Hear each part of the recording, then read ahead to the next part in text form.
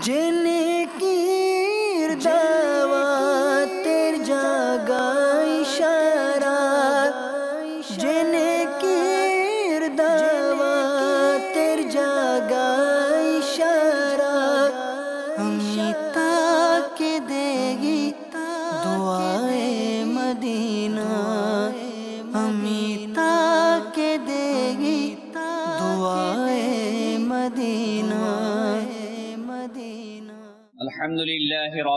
العالمين.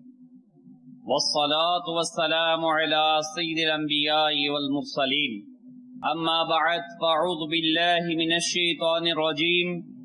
بسم الله الرحمن الرحيم. الصلاة والسلام عليك يا رسول الله. وعلى آلك وأصحابك يا حبيب الله. الصلاة والسلام عليك يا نبي الله وعلى آلك وأصحابك يا نور الله প্রিয় প্রিয় ইসলামী ভাইরা ও মাদানী চ্যানেলের দর্শকবৃন্দ দরুদে পাকের অগণিত ফজিলত ও বারাকাত রয়েছে হজরতে সৈয়দনা উবাই বিন কাআব রাদিয়াল্লাহু তাআলা আনহু আরজ করলেন, ইয়া সাল্লাল্লাহু আলাইহি ওয়াসাল্লাম, আমি অধিক হারে দুরূদ পাঠ করি। আপনার প্রতি দুরূদ শরীফ পাঠ করার জন্য কতটুকু সময় নির্ধারণ করব? তখন সরকারে দোয়ালাম সাল্লাল্লাহু আলাইহি ওয়াসাল্লাম ইরশাদ করলেন যতটুকু ইচ্ছে নির্ধারণ করে নাও। আমি আরজ করলাম। চতুর্থাংশ, তখন সরকার সাল্লাহ আলী ওয়াসাল্লাম ইরশাদ করলেন, যতটুকু ইচ্ছে নির্ধারণ করে নাও, তবে যদি তুমি বেশি সময় দুর্দে পাঠ পাঠ করো, তবে তোমার জন্য তা উত্তম। আমি আরজ করলাম, ওই সাহাবিয়া রসুল ইরশাদ করেন যে আমি আরজ করলাম, অর্ধেক, অর্থাৎ আমার অর্ধেক সময় ইরশাদ করলেন। যতটুকু ইচ্ছে নির্ধারণ করে নাও, যদি বেশি সময় পড়ো, তবে উত্তম। আরজ করলাম। আমি সম্পূর্ণ সময় আপনার প্রতি দুরুশরীফ পাঠ করতে থাকব। হুজুর সাল্লাহ আলি সাল্লাম করলেন তবে তো এই আমল তোমার দুঃখকে দূর করার জন্য যথেষ্ট হবে, আর তোমার সমস্ত গুনাহ ক্ষমার মাধ্যম হবে।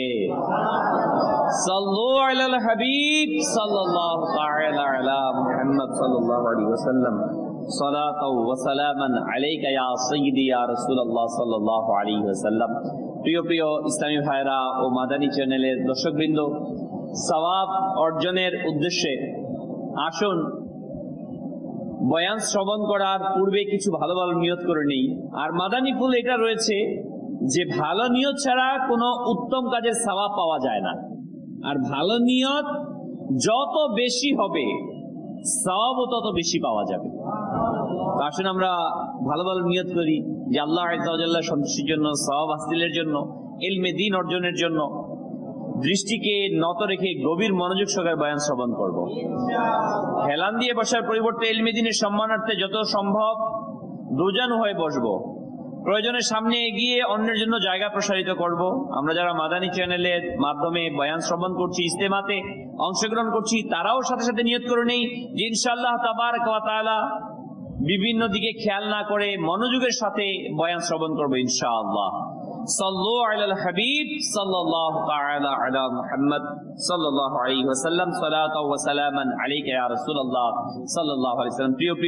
ইসলামী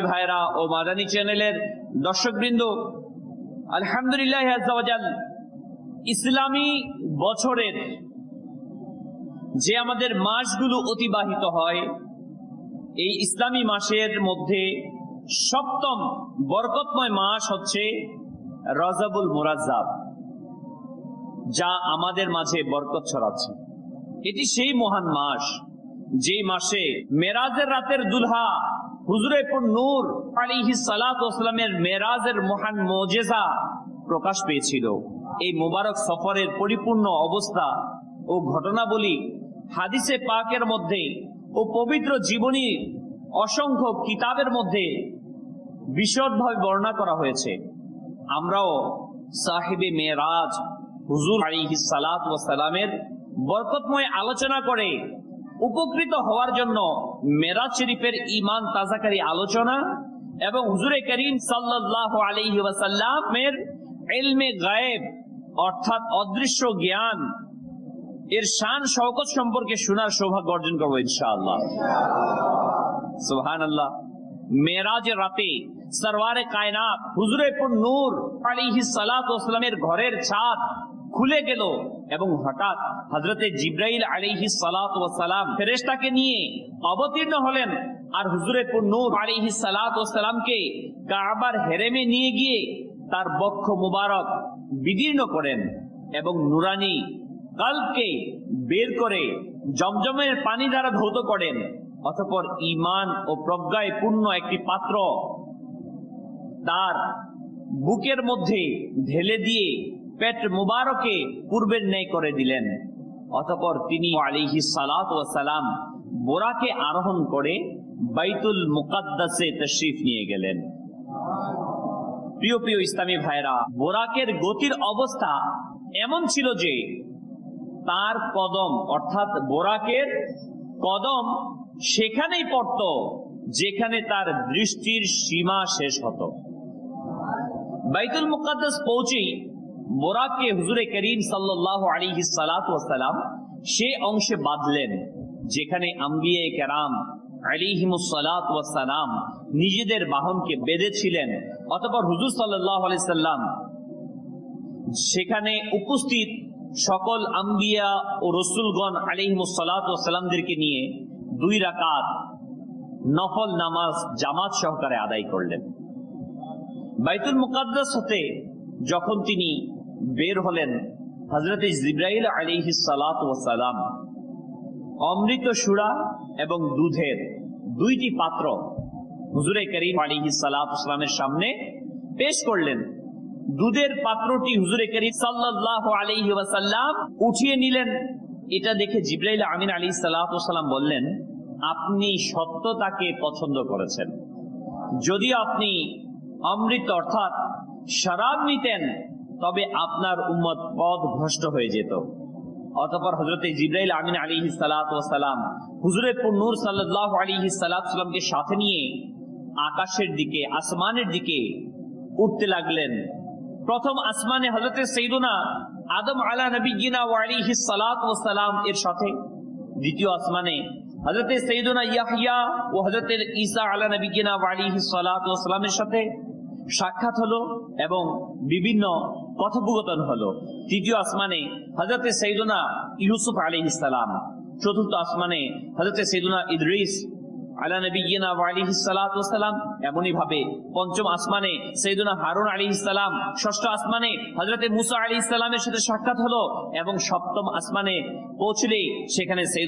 ইব্রাহিম আলী সালামের সাথে সাক্ষাৎ হলেন। তিনি ফেরেশতাদের কিবলা বাইতুল মামুর এর সাথে হেলান দিয়ে বসেছিলেন যাতে প্রতিদিন সত্তর হাজার ফেরেশতা প্রবেশ করে। সাক্ষাতের সময় সকল পায়গাম্বার অর্থাৎ আম্বিয়ে কেরাম আলিহিমুস সালাম, সুস্বাগতম হে পুণ্যবান নবী। পায়গাম্বার বলে, হুজুরে করিম সিহি সালামকে স্বাগত জানালেন, অতপর হুজুরে করিম আলিহি সালামকে জান্নাতে ভ্রমণ করানো হলো। সপ্তম আসমান অতিক্রম করার পর হুজুর সাল্লাহ সাল্লামকে জান্নাত ভ্রমণ করানো হয়। এরপর সরকার আলম, নূরে মুজাসসাম হুজুর আলী সালাম সিদ্রাতুল মুনতাহায় পৌঁছলেন। এই গাছে যখন আল্লাহ তাবারক ওয়া তাআলার নূরের বর্ষণ হলো, তখন হঠাৎ এর আকৃতি পরিবর্তন হয়ে গেল, সিদরাতুল মুনতাহা। এর রং বেরঙের আলোর এমন আলোক রশ্মি দেখা গেল যে যার অবস্থা ভাষায় বর্ণনা করা সম্ভব নয়। এখানে পৌঁছতেই জিব্রাইল আমিন আলিহি সালাম এই বলে দাঁড়িয়ে গেলেন যে এবার আর সামনে আমি অগ্রসর হতে পারব না। আল্লাহ প্রিয় ইসলামী ভাইরা ও মাদানী চ্যানেল দর্শক বিন্দু আলিহি সালাম থমকে গেলেন মুনতাহাতে। অতপর আল্লাহ হুজুর সাল্লামকে আরশ, বরং আরশেরও উপরে যতটুকু আল্লাহ তাআলা চেয়েছেন, ডেকে হুজুরে করিম আলাইহিস সালাতু সালামকে ধন্য করেছেন। সিদরাতুল মুনতাহা পর্যন্ত জিব্রাইল আমিন আলাইহিস সালাম সাথে ছিলেন। এরপর তিনি থেমে গেলেন। আল্লাহর মাহবুব সালাতু সালাম অনায়াসেই আল্লাহ তাআলার দিদার পাওয়ার জন্য সামনে অগ্রসর হয়েছেন।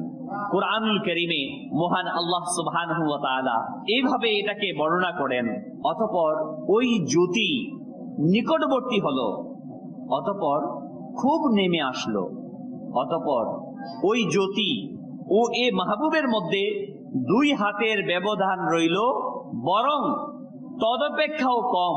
অতঃপর সেখানে কি হলো? কি ঘটেছিল? কীভাবে তার মাহবুবকে কি ধারা ধন্য করেছেন? তা আমাদের জ্ঞানের ঊর্ধ্বে রয়েছে।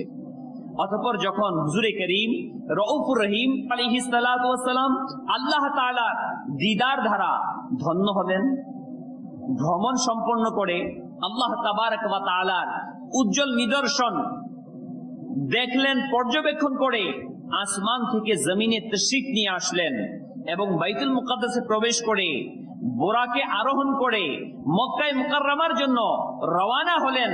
তখন পথে হুজুরে আনোয়ার আলাইহি সালাম বাইতুল মুকাদ্দাস থেকে মক্কায় মুকাররমার সকল বিশ্রাম স্থল এবং কুরাইশদের কাফেলাও দেখলেন, প্রিয় ইসলামী ভাইরা আর এই মেরাজের ঘটনাটি ছিল একেবারেই সামান্য সময়ের মাঝে। সুবহান আল্লাহ আমার আলা হজরত আজিমুল বরকাত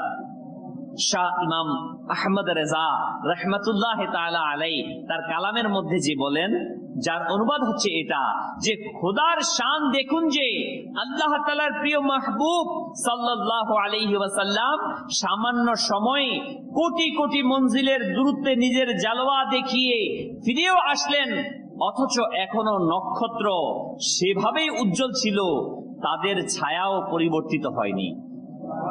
সুহান আল্লাহ আসুন আমরাও এই মেরাজুল নবীতে আমরা খুশি কিনা? আমরা মার হাবাব জানাব কিনা? তো আমরা বলি আল্লাহর অনুগ্রহ মার হাবা বোরাকের সৌভাগ্য, মেরাজের মহাত্ম বোরাকের দ্রুততা, আকার মোহাব্বত, আকার মহত্ব, লামাকানের মালিকের মহত্ব, নূরের ঝর্ণা। আসলেই প্রিয় ইসলামী ভাইরা ও মাদানী চ্যানেল দর্শক বিন্দু ওয়াসাল্লাম, এটা হচ্ছে আমাদের প্রিয় আকা। হুজুর আলাইহিস সালাতুসাল্লামকে আল্লাহ তাবারক ওয়া যে অসংখ্য মুজিজা দান করেছেন, ওই মুজিজার একটি অন্যতম মুজিজা হচ্ছে মেরাজুল নবী। আর ওই জিনিসকেই তো মুজিজা বলা হয়, যা আকল ধারা চিন্তা করা সম্ভবপর হয় না। প্রিয় ইসলামী ভাইরা হুজুরে করিম রৌফুর রহিম সালাম যখন সকালবেলা কুরাইশদের সামনে রাতের বেলার এই মেরাজের ঘটনা বর্ণনা করলেন যে আমি বাইতুল মুকাদ্দাসে গেলাম, সেখানে এ হলো। তিন, তারপর প্রথম আসমান, সপ্তম আসমান বেহেস বিভিন্ন কিছু বর্ণনা করলেন। তখন তারা ওই মুশ্রিকগণ খুবই আশ্চর্য হলো এবং হুজুরে করিম রউফুর রহিম সালামকে মিথ্যা প্রমাণ করার জন্য পরীক্ষামূলক প্রশ্ন করা শুরু করল। মুফতি আহমদ ইয়ার খান আলহ রহমতুল্লাহ হান্নান বলেন, এই প্রশ্নগুলো অহেতুক ছিল। যেহেতু বাইতুল মুকাদ্দাসের স্তম্ভ কয়টা? খুঁটি কয়টা? সিঁড়ি কয়টা? মিম্বার কোন দিকে? আসলে তো এই বিষয়গুলো বারবার দেখার পরেও আমরা বলতে পারব না, এটা কেউ বলতে পারে না। যদি আমরা এই ফয়জানে মদিনাতে কতবার এসেছি, কতবার গিয়েছি, আমাদেরকে যদি কেউ জিজ্ঞাসা করে, বলো তো ফয়জানে মদিনার খুঁটি কয়টা? এখানে সিঁড়ি কয়টা, জানালা কয়টা, দরজা কয়টা এটাকে আমরা কখনো গনেছি অমূলক বিষয়। কিন্তু তারপরেও তারা সেই সকল বিষয়গুলোকে প্রিয় ইসলামী ভাইরা মাদানী ছিল দর্শক বিন্দু ওই মুশ্রিকগণ প্রশ্ন করেছে। কাফেররা বলল যে আরস কুরসির কথা যা আপনি বর্ণনা করছেন, তা তো আর আমরা জানি না। বাইতুল মুকাদ্দাস তো আমরা দেখেছি। সেখানকার নিদর্শনগুলো আমাদেরকে বলুন। সুতরাং বাইতুল মুকাদ্দাসের অবস্থা জিজ্ঞাসা করা হলো, নবী আকরাম, নূরে মুজাসসাম, রসুল মুহতাসাম আলী সালাম কিছুটা দ্বিধাগ্রস্ত হলেন। কেননা যদিও বা হুজুর আলাইসাল্লাম বাইতুল মুকাদ্দাসে প্রবেশ করেছিলেন, কিন্তু তিনি সাল্লাহ সাল্লাম এর অবস্থা সম্পর্কে গভীরভাবে দৃষ্টি দেননি এবং সেই রাতও ছিল অন্ধকারময়। আর এটাই স্বাভাবিক বিষয় যে দেখল, আমি দেখলাম ফয়জানে মদিনাকে, কিন্তু বলতে তো আর পারব না। তখন আল্লাহ ওয়া তাআলা আমিন আলাইহিস সালামকে আদেশ দিলেন, তিনি অর্থাৎ জিব্রাইল আলাইহিস সালাম নিজের ডানায় বাইতুল মুকাদ্দাসকে উঠিয়ে নিলেন এবং মক্কায় মুকাররমায় হজরতে আকিল রাদিয়াল্লাহু তাআলা আনহু এর ঘরের পাশে রেখে দিলেন।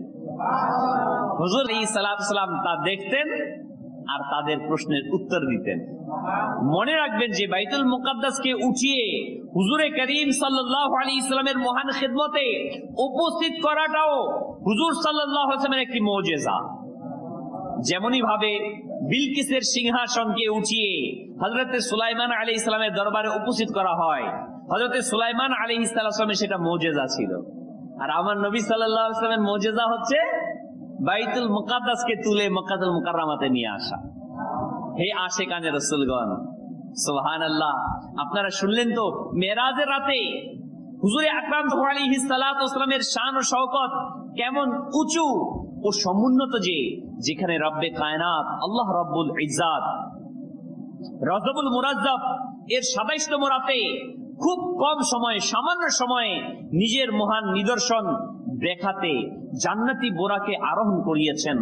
মসজিদে হারাম থেকে মসজিদে আকসা, সেখান থেকে সকল আকাশে ডেকে নিয়ে বিভিন্ন আম্বিয়ে কেরাম এবং ফেরেশতাদের সামনে নিজের প্রিয় মাহবুব সাল্লাল্লাহু আলাইহি ওয়াসাল্লামের শান শওকতকে প্রকাশ করেছেন, নামাজের উপহার প্রদান করেছেন এবং সবচেয়ে বড় হলো যে নিজের দিদার ধারাও ধন্য করেছেন। আর কোনো মাধ্যম ছাড়াই কথা বলার সৌভাগ্য দান করেছেন।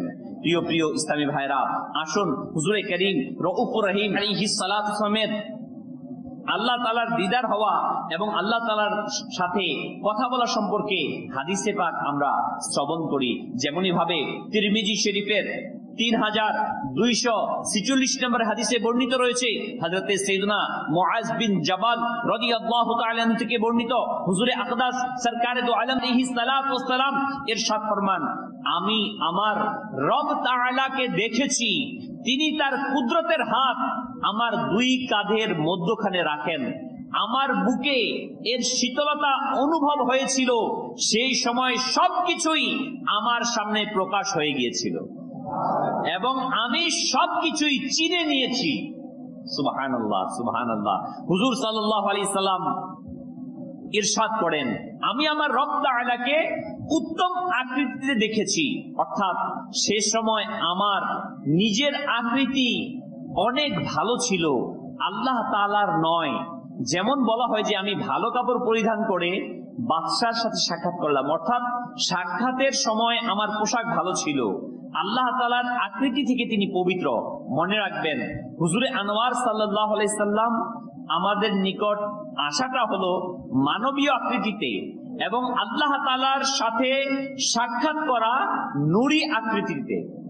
মানুষের ঘরের পোশাক এক ধরনের হয়, আর আদালতের অন্য ধরনের হয়। আমরা এক ধরনের পোশাক পরিধান করি। কিন্তু যখন আমরা জাস্টিসের সামনে হাইকোর্ট সুপ্রিম কোর্ট, জজ কোর্টের মাঝে যাই, তখন তার অবস্থা হয় অন্য ধরনের পোশাক। প্রিয় ইসলামী ভাইরা এটি সম্ভবত মেরাজের ঘটনার আলোচনা। অনেকে স্বপ্নে দিদারের কথা বলেছেন, কিন্তু প্রথমটি অত্যধিক সঠিক। সত্য তো এটাই যে, হুজুর আলিহিস সালাম নিজের চোখের কপালেই আল্লাহ তালার দিদার করেছেন। হুজুর সাল্লাহ আলী সাল্লাম এরশাদ করেন, আল্লাহ তালা আমাকে জিজ্ঞাসা করেছেন যে, নৈকট্যশীল ফেরেস্তা কোন বিষয়ে ঝগড়া করে? অর্থাৎ সেটা কোন আমল? যেটা নিয়ে যাওয়া এবং আল্লাহ তালা দরবারে পেশ করার জন্য ফেরেস্তারা ঝগড়া করে। একজন বলে, আমি নিয়ে যাব। অপরজন বলে, আমি নিয়ে যাব। আমি আরজ করলাম। অর্থাৎ রসুল করিম সাল্লাম ইসাদ করছেন, আমি আরজ করলাম, মাওলা তুমিই জানো। তখন আল্লাহ তালা নিজের কুদরতের হাত আমার দুই কাদের মাঝখানে রাখলেন। যার শীতলতা আমি আমার বুকে অনুভব করেছি, অর্থাৎ রব তার রহমতের হাত আমার পিছে রাখলেন। এবং এর ফয়েজ আমার বুক ও অন্তরে পৌঁছলো। তখন আসমান ও জমিনে যা কিছু রয়েছে, আমি তা জেনে গেলাম।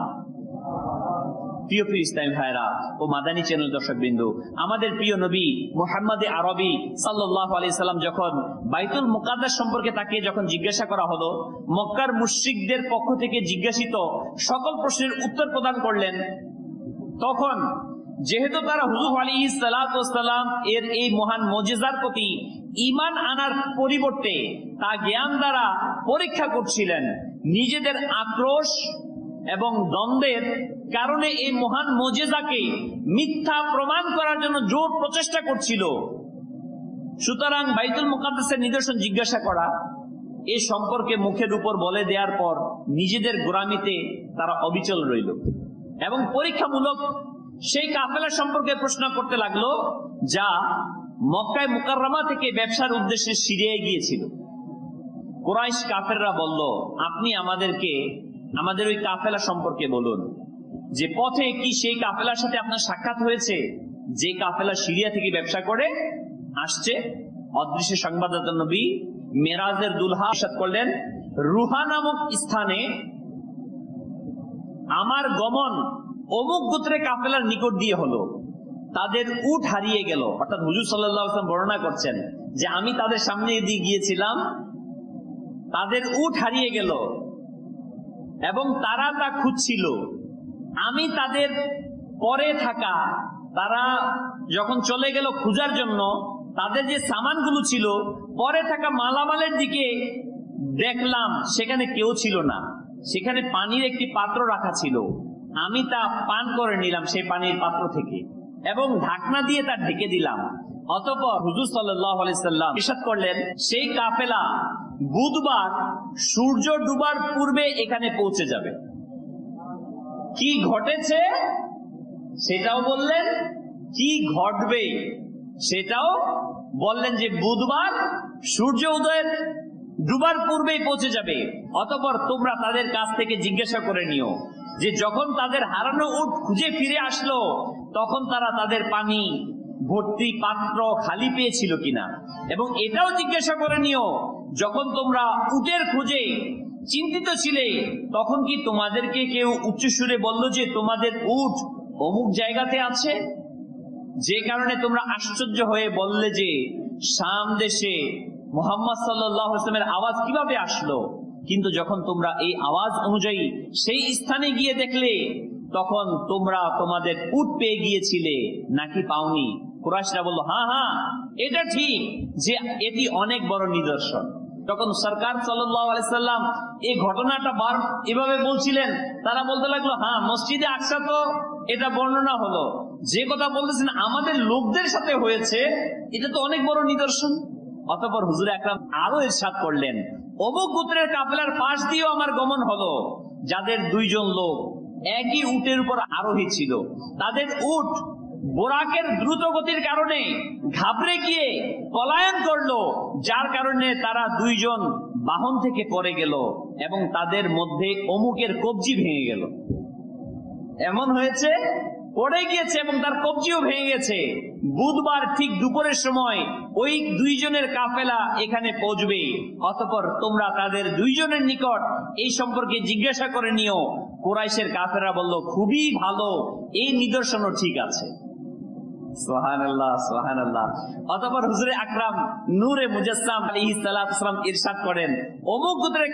পাশ দিয়ে নামক স্থানে আমার গমন হলো। সেই কাফেলার অগ্রভাগে একটি খাকি রঙের উট ছিল, যার উপর ডোরা কাটা দুইটি থলের খাদ্যের বোঝা ছিল, একজন হাফসিও এতে আরোহী ছিল, সেই কাফেলার অমুকের ঠান্ডা লাগছিল, আর সে নিজের গোলাম থেকে কম্বল চেয়ে নিচ্ছিল। এই কাফেলা অনেক নিকটে এসে গেছে। সকালে সূর্য ওঠার সময় এই কাফেলা এখানে এসে পৌঁছে যাবে। প্রিয় ইসলামী ভাইরা ও মাদানী চ্যানেল দর্শক বিন্দু সূর্য উঠার পূর্বে যখন হুজুর সাল্লাম দিনের বেলা সাল্লাহ আসলাম কথা বললেন, তো সূর্য উঠার পূর্বেই কিছু লোক একটি পাহাড়ের উপর এসে বসে গেল। এবং কাফেলার অপেক্ষা করতে থাকল। কিছু লোককে সূর্য উঠার অপেক্ষায় নিযুক্ত করল, যেন তারা তা উদিত হওয়ার প্রতি দৃষ্টি রাখে। হঠাৎ সেই নিযুক্ত লোকদের মধ্যে থেকে একজন চিৎকার করে বলল, নাও, দেখো, ওই দেখো, সূর্য উদিত হয়ে গেল। এমনই সময়ে অন্য দিক থেকে বলে উঠল, ওই দেখো কাফেলাও এসে গিয়েছে। সোহান আল্লাহ সোহান আল্লাহ দেখা গেল আসলেই কাফেলার অগ্রভাগে খাকি রঙের একটি উট ছিল, যার উপর ডোরা কাটা দুইটি থলেতে খাদ্যের বোঝা ছিল। এরপর বুধবার দুপুরে কোরাইশদের কাফেরদের একটি দল পাহাড়ের উপর বসে সেই কাফেলার আগমনের অপেক্ষা করল, যার আগমনের সংবাদ হুজুর সাল্লাহ আলী ওয়াসাল্লাম দিয়েছেন। তারা বুধবার দুপুরে এসে পৌঁছাবে। সুতরাং ঠিক দুপুরের সময় দ্বিতীয় কাফেলাটি পৌঁছে গেল এবং যে ব্যক্তি পরে যাওয়ার সংবাদ দেওয়া হয়েছিল, আসলে তার কবজি ভাঙা ছিল। এরপর কিছু লোক সেই তৃতীয় কাফেলার অপেক্ষায় বসে রইল, যাদের আগমনের সময় সূর্যাস্তের সময় বলা হয়েছিল। সূর্যাস্তের সময় নিকট হয়ে গেল। তখনও পর্যন্ত কাফেলা পৌঁছে নাই। হুজুর সাল্লাহ ইসলাম আল্লাহর দরবারে দোয়া করলেন। দোয়া কবুল হলো। সূর্যকে থমকে দেয়া হলো। যখন কাফেলা পৌঁছে গেল, তখন সূর্য অস্ত গেল। যখন হুজুরে আনোয়ার সাল্লাহ আলাইসলামের বর্ণিত কথাগুলো সম্পর্কে কাফেলা সংশ্লিষ্টদের কাছে জিজ্ঞাসা করা হলো, তখন তারা সকল কথার সত্যায়ন করল। নবী আকরাম, নূরে মুজাসসাম, রসুলে মোহতাসাম সাল্লাহ আলাইসাল্লাম যেভাবে এরশাদ করেছিলেন, একেবারে সেভাবেই হলো। হুজুর সাল্লাহ আসলামের মোজেজা প্রকাশ হওয়াতে মুশ্রিকরা লজ্জিত হয়েছিল, কিন্তু ইমান আনলো না। প্রিয় প্রিয় ইসলামী ভাইয়েরা ও মাদানী চ্যানেলের দর্শক বৃন্দ বর্ণাকিত মেরাজের ঘটনায় যেখানে আরও অনেক মাদানী ফুল এর সুগন্ধি বিলানো হচ্ছে, ছড়ানো হচ্ছে, সেখানে একটি মাদানী ফুল এমনও খুঁজে পাওয়া যায় যে আল্লাহ তালা তার মাহবুব আলী সালামকে ইলমে গায়েব, অদৃশ্যের সংবাদ এর মহান দৌলত তারা ধন্য করেছেন। সুতরাং প্রিয় নবী, মাহবুবে আরবি এরাজের সফর থেকে ফিরার পর মক্কার কাফেররা পরীক্ষামূলক যখন তার কাছ থেকে বাইদুল মুকাদ্দাস এবং সেখানকার কাফেলা সম্পর্কে জিজ্ঞাসা করল, তখন হুজুর সাল্লাহ আলী সাল্লাম আল্লাহ তালার দান ক্রমে অদৃশ্য সম্পর্কে জ্ঞাত আকা, মিরাজের রাতের দুলহা, হুজুর সাল্লাহ আলিহি সালাম মক্কার কাফিরদের ব্যবসায়ী কাফেলার ফিরে আসারও সঠিক সময় বর্ণনা করে দিয়েছেন।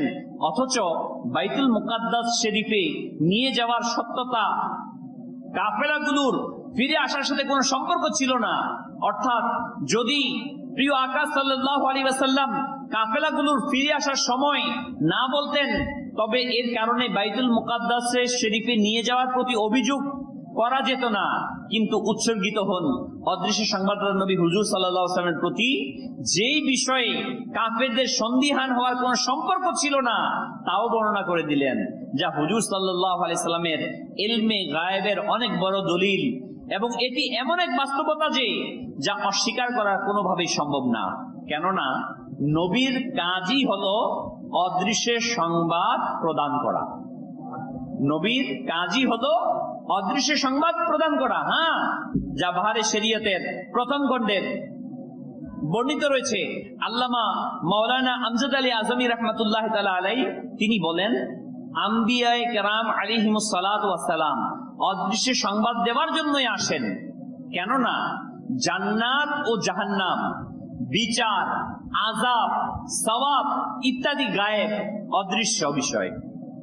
এটা অদৃশ্য না তো কি আমরা কি জান্নাত দেখেছি? সবাব দেখেছি? আজাব দেখেছি? এই সব কিছুই হচ্ছে গায়েব। তাদের পদই এরূপ যে, সেই বিষয়ে ইরশাদ করা যা কল্পনায় আসে না। এবং এরই নাম হচ্ছে গায়েব তথা অদৃশ্য সংবাদ। প্রিয় প্রিয় ইসলামী ভাইরা ও মাদানী চ্যানেলের দর্শক বিন্দু শেখে তরিকাত, আমির আহলে সুন্নাত, দাওয়াত ইসলামের প্রতিষ্ঠাতা আবু বেলাল মোহাম্মদ, ইলিয়াস আত্মার কাদির রেজুবি জিয়াই, দামাত বরকাতমুল্লাহ আলিয়া, তার লিখিত রিসালা কালো গুলাম এর সতেরো পৃষ্ঠায় লিখেন, আল্লাহ তালার মাহবুব সাল্লাহ আলী সাল্লাম তার পরওয়ার দিগারের দান ক্রমে আপন গোলামের বয়স সম্পর্কে অবহিত এবং তাদের সাথে যা কিছু সংগঠিত হবে সে সম্পর্কে অবহিত কুরআনুল করিমের অসংখ্য আয়াতে মোবারকায় হুজুরে করিম রউফ রহিম সাল্লাহ ইসলামের ইলমে গায়েব অর্থাৎ অদৃশ্য জ্ঞানের প্রমাণ পাওয়া যায় যেমনটি তিরিশ পারা আল্লাহ তাবার কতালা ইসব ফরমান বিসমিল্লাহ রহমান রহিম وما هو على الغيب بضنين কানজুল ঈমান থেকে অনুবাদ। এবং এ নবী অদৃশ্য বিষয় বর্ণনা করার ব্যাপারে কৃপণ নন। অন্য জায়গাতে উনত্রিশ পারা সুরা জিন এর ২৬ এবং সাতাইশ নম্বর আয়াতে আল্লাহ সুবাহানহু ইরশাদ করেন, অদৃশ্যের জ্ঞাতা। সুতরাং আপন অদৃশ্যের উপর কাউকেও ক্ষমতা করেন না। আপন মনোনীত রসুলগণ ব্যতীত আল্লামা ইসমাইল হকি রহমতুল্লাহ আলাই বলেন মুফাসিরিনে কেরাম আলিহিম রিদওয়ানগণ, আল্লাহ তাআলা তার বিশেষ, তিনারা বলেন যে আল্লাহ তাআলা তার বিশেষ রসুলদের আলিহিমসালামদের বিশেষ অদৃশ্যের জ্ঞান দ্বারা ধন্য করে থাকেন। আউলিয়া কেরাম রাহিমাহুমুল্লাহ সালাম এর যে অদৃশ্যের জ্ঞান হয়ে থাকে, তা আম্বিয়ে কেরাম আলিহিম সালামের ওয়াসিলায় এবং ফয়েজ দ্বারা হয়ে থাকে। প্রিয় প্রিয় ইসলামী ভাইরা, এমনই ভাবে ফরমান কানজুল ইমান থেকে অনুবাদ এবং আল্লাহর শান এ নয় যে হে সর্বসাধারণ, তোমাদেরকে অদৃশ্যের জ্ঞান দিয়ে দিবেন। তবে আল্লাহ নির্বাচন করে নেন তার রসুলগণের মধ্য থেকে যাকে চান। সদরুল আফাদিল আল্লামা সৈয়দ মোহাম্মদ নঈমুদ্দিন মুরাদাবাদী রহমতুল্লাহ এই আয়াতে মুবারকার আলোকে বলেন, আল্লাহ তাআলা সেই মনোনীত রসুলদের অদৃশ্যের জ্ঞান দান করেন। এবং সৈয়দুল আম্বিয়া, হাবিবে কিবরিয়া, হুজুর আলিহি সালাম সকল রসুলদের মধ্যে সবচেয়ে উত্তম এবং মহান। এই আয়াত দ্বারা এবং এছাড়াও অসংখ্য আয়াত ও হাদিসে মুবারকার দ্বারা প্রতীয়মান হয় যে আল্লাহ তালা হুজুর সালামকে অদৃশ্যের জ্ঞান দান করেছেন এবং এই অদৃশ্যের জ্ঞানই হুজুর সাল্লামের মৌজেজা। প্রিয় ইসলামী ভাইরা আল্লাহ এই সকল সুন্দর সুন্দর কথা জানার জন্য এবং আমাদের ইমানকে হেফাজতের জন্য আমাদের উচিত নেক আমলের মাঝে আমাদেরকে সম্পৃক্ত রাখা। আমরা হাদিসে কারিমা পরবর্তীতে ওলামাই কারামের কথাও শুনতে পেলাম। তো আলহামদুলিল্লাহ দাওয়াত ইসলামী ওই মাদানী পরিবেশ যা আমাকে নেক কাজের দিকে উদ্বুদ্ধ করছে, সৎ কাজের আহ্বানের দিকে উদ্বুদ্ধ করছে, গুনাহ থেকে আমাদেরকে বাঁচিয়ে রাখছে। তো আমি সকলকে অনুরোধ করব, আসুন আমরা সকলেই দাওয়াত ইসলামীর এই মাদানী পরিবেশ সাথে সম্পৃক্ত থেকে হুজুরে করিম রহিম সালামের মোহাব্বতকে আমাদের সিনার মধ্যে রাখি। হুজুর সাল্লামের শান শৌকতকে আমরা বুঝি এবং নেক আমল দ্বারা আমাদের জীবনকে সুন্দর করে সাজিয়ে নিই। আল্লাহ সুবাহ আমাদের সবাইকে সেই তৌফিক দান করুন।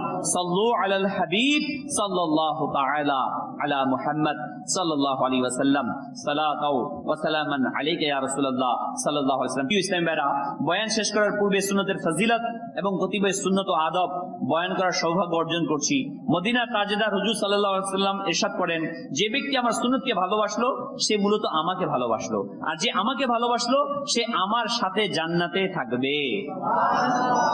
আসুন, শেখ তরিকাত আমির আলী সুন্নাত দামাত বরকতমুল্লাহ আলিয়া রেসালা একশো এক মাদানী ফুল থেকে নখ কাটার সুন্নত আদত শ্রবণ করি।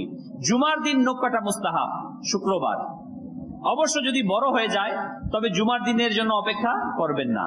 সদর শরিয়া বদরুত তারিকা মৌলানা আমজাদ আলী আজমি আলী রহমতুল্লাহ কবি বলেন তিনি বলেন, বর্ণিত আছে যে যে ব্যক্তি জুমার দিন নখ কাটবে, আল্লাহ তালা তাকে পরবর্তী জুমা পর্যন্ত বিপদ আপদ থেকে রক্ষা করবে এবং তিন দিন অতিরিক্ত, অর্থাৎ দশ দিন পর্যন্ত।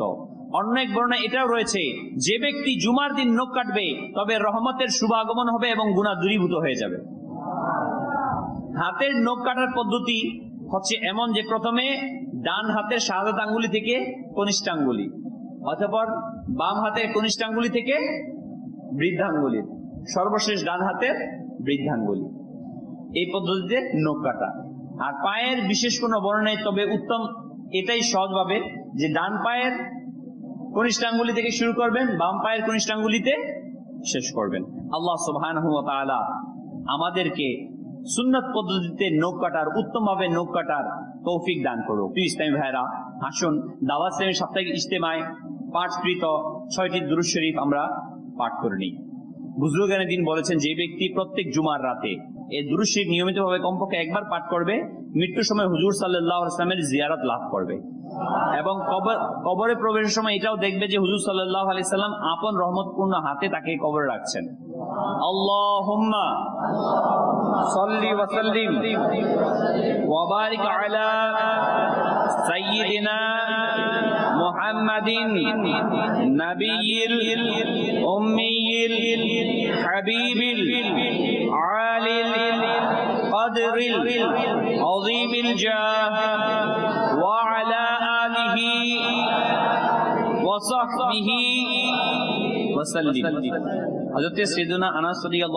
বর্ণিত করেন যে ব্যক্তি দুরূদ পাঠ করবে যদি সে দাঁড়ানো থাকে তবে বসার পূর্বে আর যদি বসা থাকে, তাহলে দাঁড়ানোর পূর্বে তার গুনাহ ক্ষমা করে দেওয়া হবে।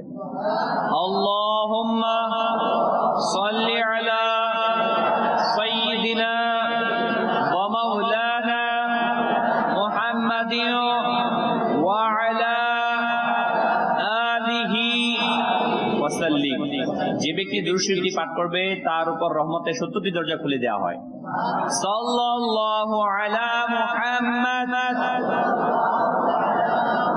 হযরত আহমদ সাদি আলাইহি রাহমাতুল্লাহ কবি কতিপয় বুজুর্গ থেকে বর্ণনা করেন, এই দুরূদ শরীফ একবার পাঠ করলে ছয় লক্ষ বার দুরূদ শরীফ পাঠ করার সব অর্জন হয়। আল্লাহুম্মা সাল্লি আলা সাইয়্যিদিনা মুহাম্মাদিন আদাদা মা ফি ইলমিল্লাহি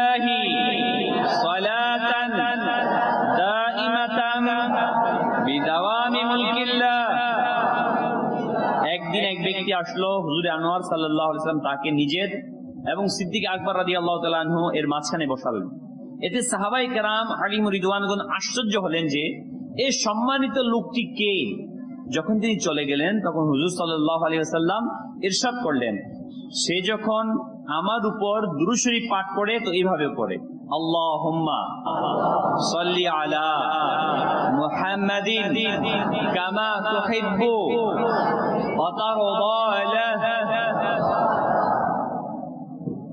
রসুল করিম সাল্লাহ ইরশাদ করেন, যে ব্যক্তি এভাবে দুরুশ্রী পাঠ করবে, তবে তার জন্য আমার শাফাআত ওয়াজিব হয়ে যায়।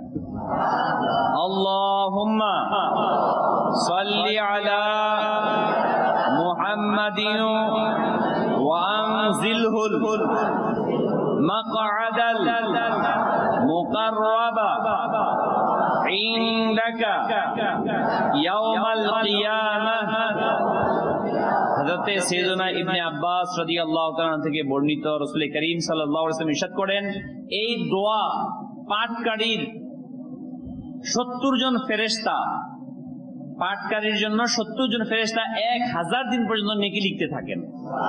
জাজাল্লাহ আন্না মুহাম্মাদান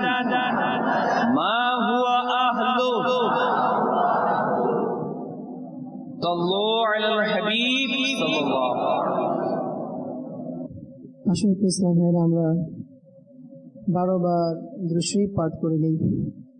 الصلاة والسلام عليك يا رسول الله. الصلاة والسلام عليك يا حبيب الله. الصلاة والسلام عليك يا نبي الله. الصلاة والسلام عليك يا نور الله. الصلاة والسلام رسول الله. الصلاة والسلام عليك يا حبيب الله. الصلاة والسلام عليك يا نبي الله. الصلاة والسلام عليك يا نور الله. الصلاة والسلام عليك يا رسول الله. الصلاة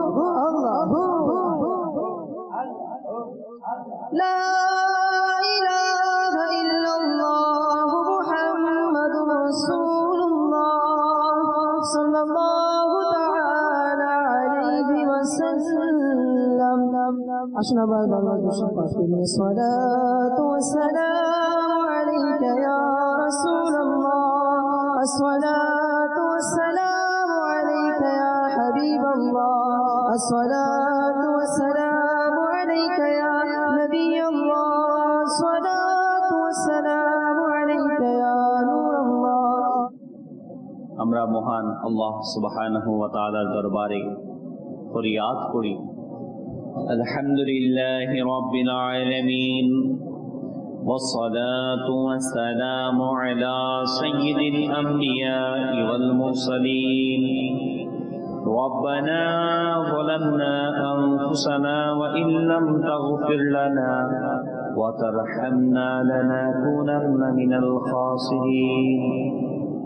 يا ربنا يا ربنا يا ربنا یا ارحم الراحمین، یا ارحم الراحمین، یا ارحم الراحمین.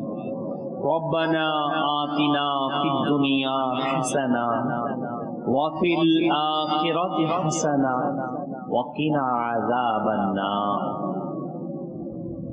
یا الہی رحم فرما مصطفیٰ کے واسطے یا رسول اللہ، کرم کیجیے خدا کے واسطے۔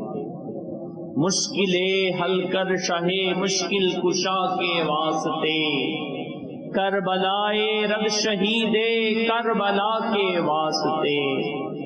مولا کریم اللہ، امرت گناہ گار سیاہ کار بدکار، مولا ওই হাত তোমার দরবারে উঠিয়েছি, যে হাত দ্বারা তোমার নাফরমানি করেছি।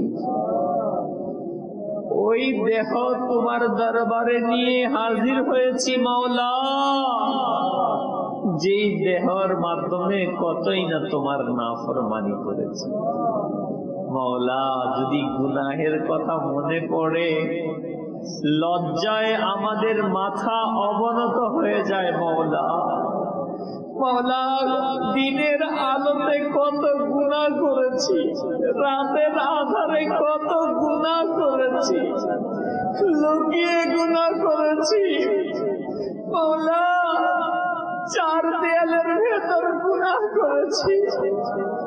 মাওলা, মানুষকে তো ভয় করেছি যে কেউ তো দেখে না ফেলে। কিন্তু তুমি যে আহকামুল হাকিমিন, তুমি যে মাওলা সবকিছু দেখো, আমরা তো তোমাকে লজ্জা না করে গুনাহ করে ফেলেছি, মাওলা। মাওলা, গুনাহ করে করে আমাদের জীবনকে ধ্বংসের দ্বার প্রান্তে দাঁড় করে দিয়েছি, মাওলা। আমাদেরকে তুমি ক্ষমা করে দাও। মাওলা, তুমি যদি আমাদেরকে ক্ষমা না করো কে আমাদেরকে ক্ষমা করবে, মাওলা? মাওলা মাওলা, আমরা অন্যায় করেছি, অবিচার করেছি নিজের নফসের প্রতি, মাওলা। তোমার কাছে ক্ষমা চাই, মাওলা। যখন কোন সন্তান তার মায়ের সাথে অপরাধ করে, মায়ের কাছে অন্যায় করে, মায়ের অবাধ্য হয়, মা যখন হয়তোবার রাগ করে তাকে ঘর থেকে তাড়িয়ে দেয় আবার যখন সন্ধ্যা ঘনিয়ে আসে তখন ওই সন্তান বাড়িতে ফিরে এসে ওই মায়ের আঁচল ধরে যখন চোখের পানিকে মামলা ছেড়ে দেয় তখন ওই দয়াময় মা সন্তানের চোখের পানির দিকে তাকিয়ে তার সব অপরাধকে ক্ষমা করে দেয়। মাওলা, তো সেই দয়ালু মাকে সৃষ্টিকারী দয়াময় আল্লাহ। তুমি তো ওই মায়ের চেয়েও কোটি কোটি গুণ দয়ালু। নিজের নফসের প্রতি জুলুম করেছি। আমরা তোমার হুকুমের অবাধ্য হয়েছি। মাওলা আবার তোমার দরবারে ফিরে এসেছি। তুমি আমাদেরকে ক্ষমা করে দাও। আমাদেরকে নেককার বানিয়ে দাও। আমাদেরকে আশিক রসুল বানিয়ে দাও। মাওলা, আমরা তবা করছি। আর কখনো নামাজ কাজা করব না। আর কখনো মিথ্যা বলব না। কখনো গিবত করব না। আর কখনো চগলখড়ি করব না। মাওলা যাদের পিতা মাতা বেঁচে আছে, কখনো কষ্ট দেব না। এ আল্লাহ কারও হক আত্মসাত করব না। মানুষের প্রতি জুলুম করব না। মাওলা, তুমি আমাদেরকে ক্ষমা করে দাও। আমাদেরকে মাফ করে দাও। মাওলা, যারা যারা হাত তুলেছে, সবাইকে ক্ষমা করে দাও। এ আল্লাহ, যে যে নিয়ত করে দোয়ার জন্য বলেছে, কেউ মাওলা অসুস্থ, কেউ ঋণগ্রস্ত, কেউ হয়তো মাওলা মোকদ্দমায় গ্রেফতার। মাওলা, যে যে পেরেশানি নিয়ে তোমার দরবারে হাত তুলেছে, হে আল্লাহ, সকল রুগীকে তুমি শিফা দিয়ে দাও। হে আল্লাহ, আমাদের এই মাতৃভূমি, তিনশো ষাট আউলিয়ার এই পুণ্যভূমি বাংলাদেশের প্রতি তোমার খাস রহমত নাজিল করো। সকল প্রকার অভ্যন্তরীণ আন্তর্জাতিক ষড়যন্ত্র থেকে মাওলা আমাদের এই দেশকে হেফাজত করো। বিশ্বের বুকে আমাদের এই দেশকে মাওলা শক্তিশালী রাষ্ট্র হিসেবে প্রতিষ্ঠিত করো। মাওলা এ করিম আল্লাহ আজ্জা ওয়া জাল হে আল্লাহ, দাওয়াত ইসলামের মুবাল্লিগগণ মুহিব্বিগণ, পৃথিবীর যে যে প্রান্তে দ্বীনের খেদমত করছে মাওলা সবারই খেদমতকে কবুল করো। ইন্নাল্লাহ ওয়া মালাইকাতাহু ইউসাল্লুনা আলান নবী। ইয়া আইয়ুহাল্লাযীনা আমানু সাল্লু আলাইহি ওয়া সাল্লিমু তাসলিমা। সাল্লাল্লাহু আলান নবিয়্যিল উম্মি ওয়া আলিহি সাল্লাল্লাহু আলাইহি ওয়া সাল্লাম সালাতাও ওয়া সালামান আলাইকা ইয়া রাসূলাল্লাহ। ওয়া হাক্কি লা إله إلا الله محمد رسول الله. يا نبي سلام عليك. يا رسول سلام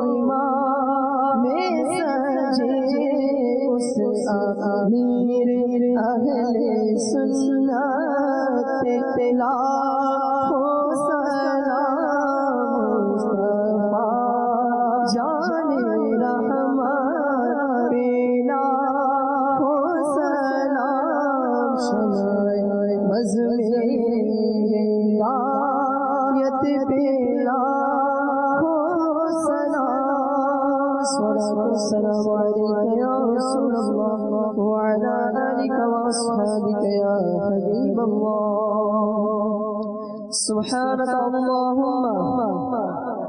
وبحمدك. لا إله إلا أنت. أستغفرك وأتوب إليك. سبحانك اللهم. وبحمدك. لا إله إلا أنت. أستغفرك وأتوب إليك. سبحانك اللهم وبحمدك لا إله إلا أنت.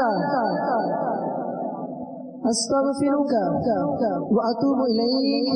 الصلاة والسلام عليك يا نبي الله وعلى آلك وأصحابك يا نور الله. جن کی دعوت